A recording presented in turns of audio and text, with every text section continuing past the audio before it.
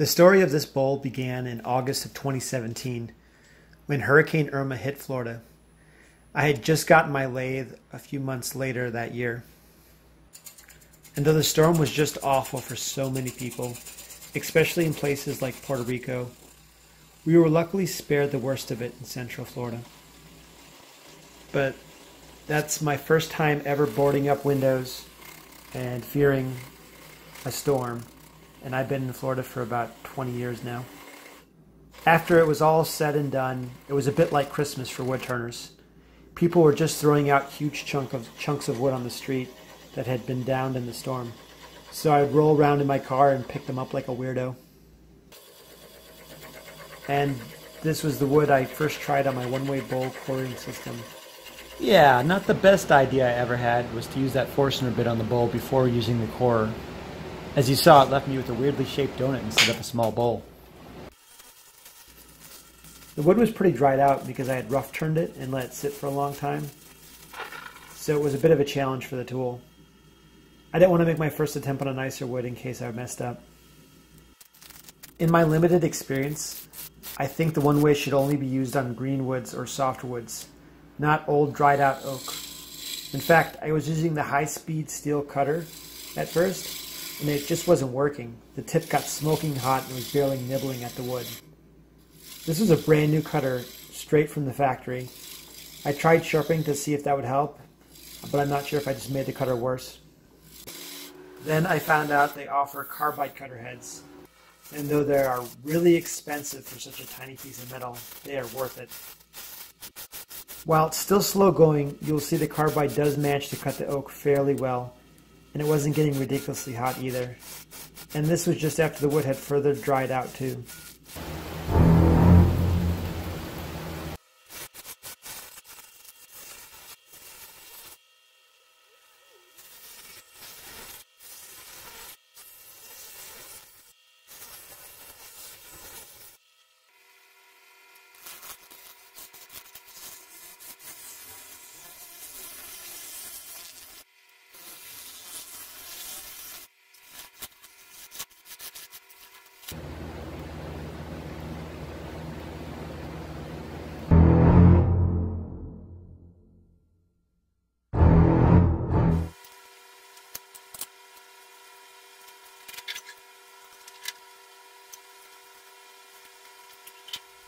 So after that, I end up giving up on the core for this bowl. I just wanted to get it finished. I hold up a piece of thin stock where the bottom of the bowl is glued to the waste block. I use that as a reference edge for my square to determine the depth of the bowl. I know the rough wall thickness that I'm shooting for, so I adjust the square down by that amount. I reverse the square direction to reference the tip of the Forstner bit and just eyeball the spot where the square ends. As I'm drilling, I close one eye to reduce parallax, and when that spot on the bit is reached by the top rim of the bowl, I know when to stop drilling. It doesn't have to be exact, but it's definitely better to err on the side of caution and not drill too deep.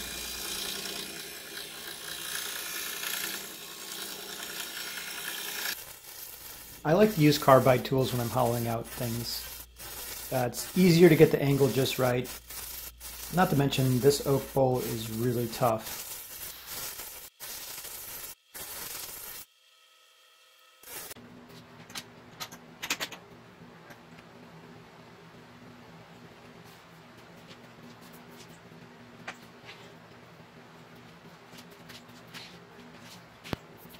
For the last bit of the bowl, I switched to my Jamieson hollowing rig. I think it's because the tool at the very back of the bowl is pretty far away from my tool rest, and I don't have a curved tool rest. Uh, not to mention, it's almost impossible to get a catch with the Jamieson tool. Another nice thing about the Jamieson tool is it comes with a laser sight, which will help you determine how far in the bowl you are and where the wall thickness is.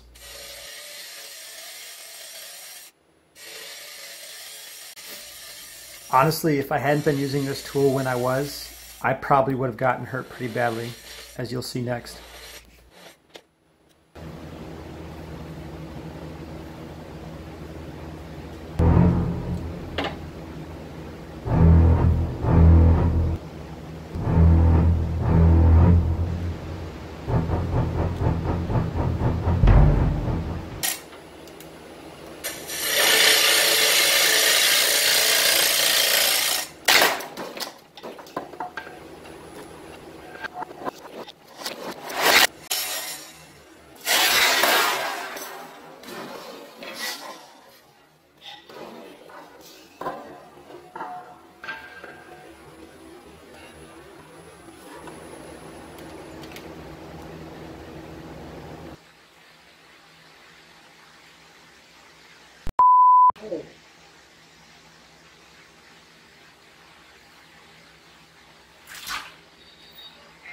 Was terrified.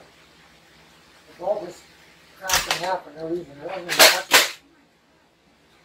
I think it's because it was dry and rotted and boom, literally just exploded everywhere. No, amazingly not. Probably that would that would have hurt. That was terrifying. Like hospitalized? No, like probably bruised. I mean, I had my face mask on. If I? I mean, it would have sucked. That was crazy. I've never even seen it like that. Like I wasn't even touching it. I heard like a little crack, and I think that was it. That was just like it giving up the ghost. Holy cow. Gentlemen, we can rebuild him. We have the technology. We have the capability to make the world's first bionic Ball. better than he was before. Better, stronger, faster.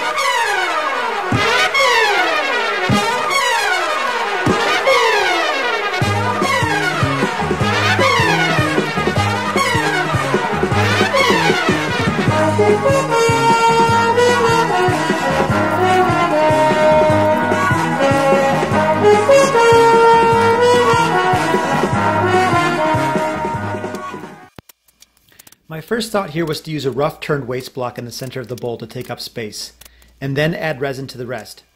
This method works okay as I demonstrated in my segmented fruit bowl video, but then I have to rehollow the bowl out. Plus, despite the waste block, it still takes up a ton of expensive resin to do this. So I tried something different this time. I just did many smaller pours and relied on gravity for the resin to fill in the cracks. I have West Epoxy, Alumilite, and 5 Make Epoxy I got from Stewart MacDonald. The Stewart MacDonald is definitely the best for this application, but I only had a small amount. It's really meant for tiny touch ups on guitars. So I ended up trying all three. The Alumilite was worst of all. It sets fast, which is what you want when you're manually angling the bowl to fill the cracks in. But without using a pressure pot and properly drying the wood, it bubbles and turns white instead of the copper I chose. The West Marine works okay, but it has a really long set time, especially with a slow hardener. And since you're doing multiple pours, it's not efficient. Was I scared to put this bowl back on my lathe after it exploded in my face? Yes. Hence why I first tried to smooth out the inside with the duct tape still intact. But it was too off balanced and caused a lot of vibrations. So I had to have faith in my glue and smooth out the outside without any tape. Instead of peeling it off, part of me was tempted to keep the tape on and turn it off instead. But duct tape is like Chuck Norris. Chances are it's stronger than carbide.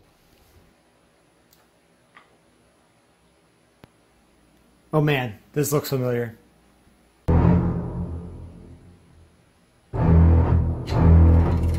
Just kidding. This video has reached its bowl explosion quota. As I mentioned earlier, the Alumilite was terrible for this application. It got all puffy, uh, so I had a big blob on the edge of the bowl. It led to a really cool effect though. It looks like I'm cutting air here because you cannot see the white blob as the bowl moves really fast. You can see there's still some high points where the resin is pretty thick. So it's a matter of just stopping and starting and just trying to take off as little as possible of the bowl where there's no more resin showing other than in the cracks.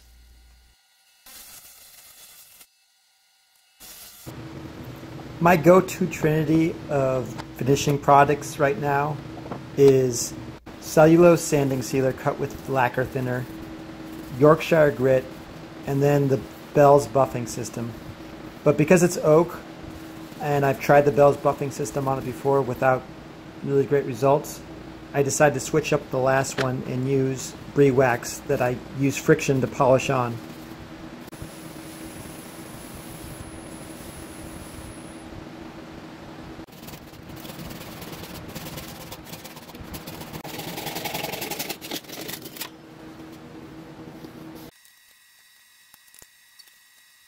The last step here is to use my cold chuck to clean up and shape the bottom of the bowl.